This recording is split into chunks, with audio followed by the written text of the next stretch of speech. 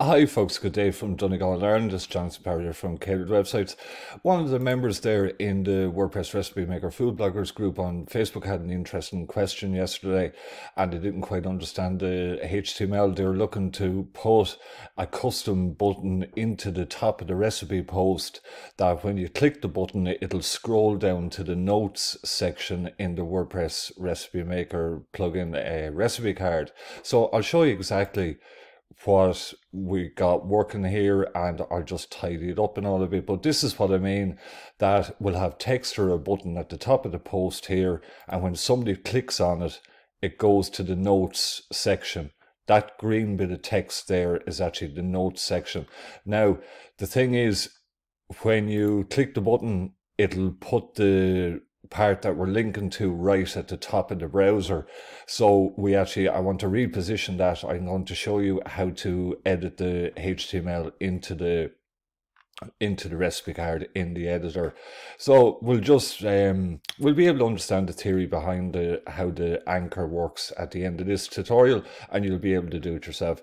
So a great resource for any of these coding type things is the W3 Docs uh, school over here, and they will actually give you the code to do this. So what I've done is we need to put this bit of code here. I linked to this article in the notes under the video.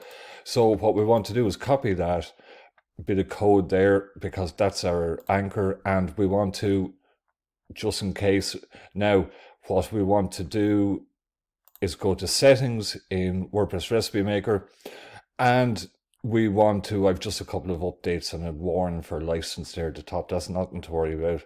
So here we are. We want to go down to our default recipe template and we want to make sure that we're editing the correct template. So the default template to use for the food recipes on your website and it's logged out recipe card is the name of it there. So we want to go into the editor, recipe templates and logged out recipe card is here. We want to go edit template. We want to go up to the top left here, edit HTML. And this might look confusing now because people were saying that they didn't see HTML like this before. And there is bits of HTML there. These things in the curly brackets, they're all the um, WordPress Recipe Maker shortcodes is what they are.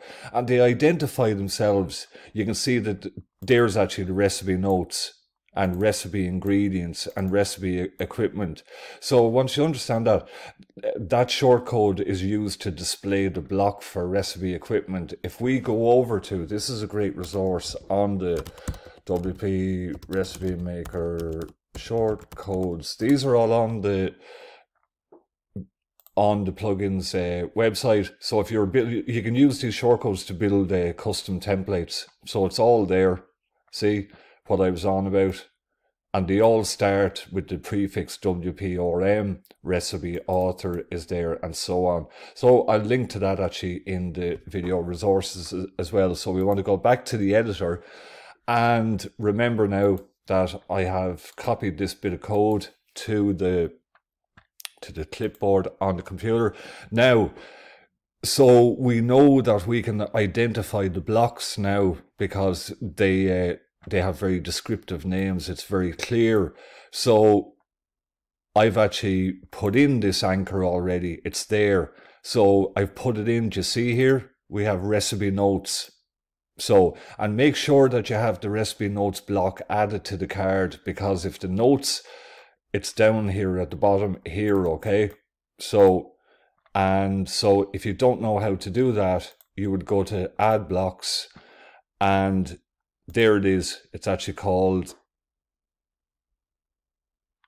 just probably two. There's private notes and then yeah, recipe notes. So the recipe notes, that's the one that's public, and the private notes are only for the user. They can only see that themselves. So it's recipe notes. Don't get them mixed up. But you would click that, and you would say edit blocks, and then so we're going to where have I put that now?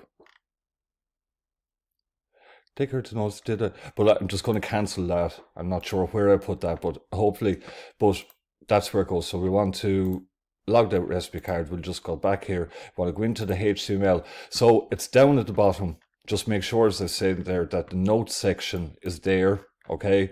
And so we want to look for that shortcode down at the bottom now.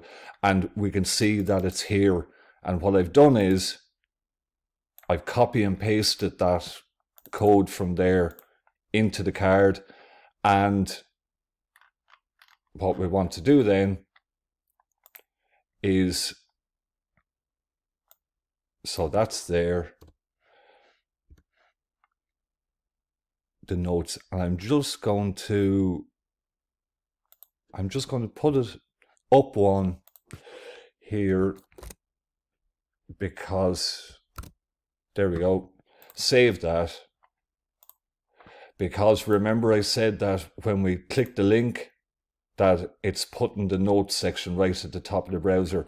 So to bring it down a bit I put the anchor up a bit higher. So when I refresh the page and when I click the link no it didn't make much of a difference. So I actually need to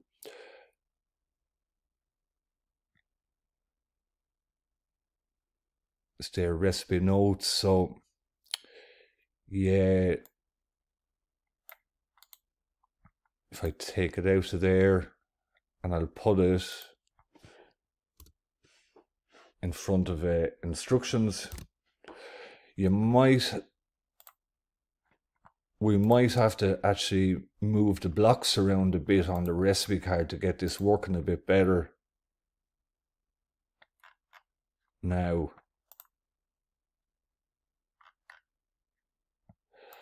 add new post.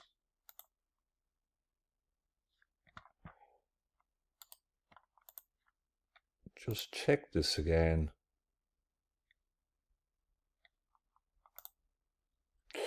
Yeah, it's going it's going down to it, but it's not perfect. Because I'd prefer it to uh, to go down to that. So hopefully, folks, you might have to play around with that. And another thing is the actual speed of the jump it's going in an instant. There is a, uh, there is a way of making the scroll smoother and everything, but that's JavaScript. I'm not sure how to do it actually. That we'd have to research that a bit more. But hopefully, folks, you understand now that that's how you put the anchor anyway into the card. So it's not 100% perfect, but the theory is there to get it working.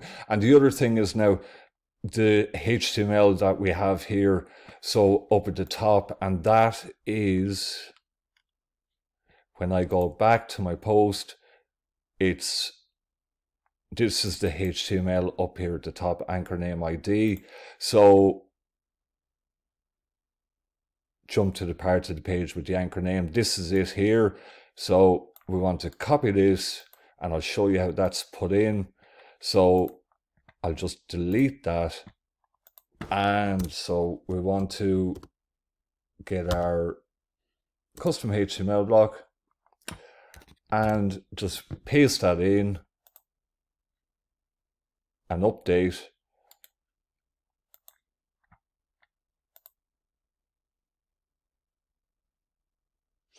And there we have it. And it, it'll scroll down to the notes. Now so we want to edit this text now. We don't want that to say what it does here. So it'll be this bit of, let me see now. I just want to make sure with the anchor ID. Yeah. So just delete that. And it's inside the brackets is what we want to put, um, put our text. Jump to recipe notes section like that. So it's important here to note that see the the hash sign with the anchor name there, that has to be the same as where is it now? Here, see this anchor name. they have to be identical because that's how it identifies the link to go to. So we want to make sure that's correct. If you change them by accident, it won't work. So there we are. Jump to recipe notes and it'll bring you down to the notes. So I actually, I just want to do something actually.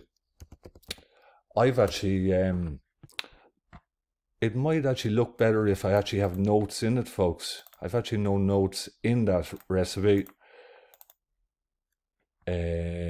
Do do do do do do. Copy. What's the name of the recipe? It's uh, mushroom chili. We want to go back to manage recipes. We want to go to mushroom chili.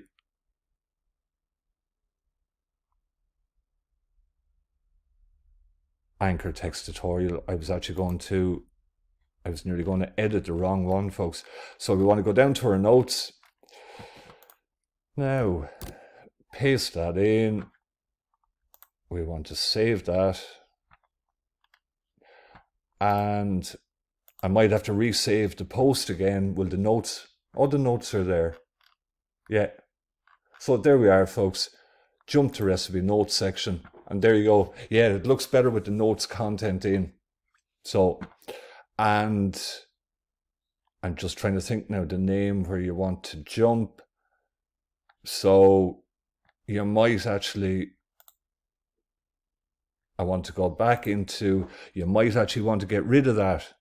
So because all we need is the anchor. We mightn't actually want any text there because we have the heading for the notes, don't we? We do, yeah. The heading is there for notes, you see. Well, you can actually turn the headings on and off, I'm pretty sure, in the card as well. So update the recipe card. That link should be gone now.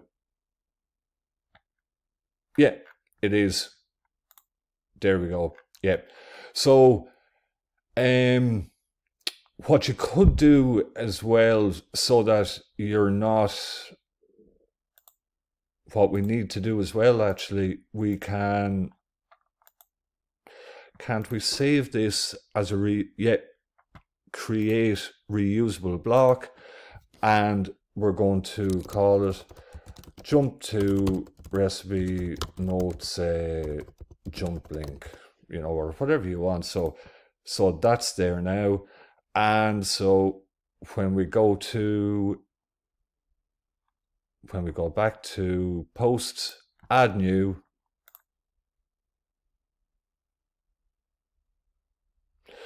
just say we're putting a use standard editor there. I'm using a page builder there. We want to go into whereabouts are the reusable blocks in this now, folks? It's over here.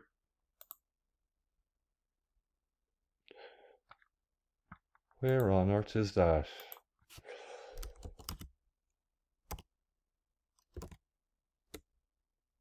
Now,